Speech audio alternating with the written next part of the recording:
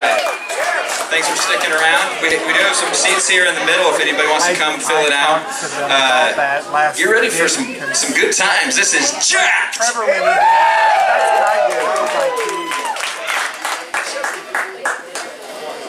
heard these guys are pretty good.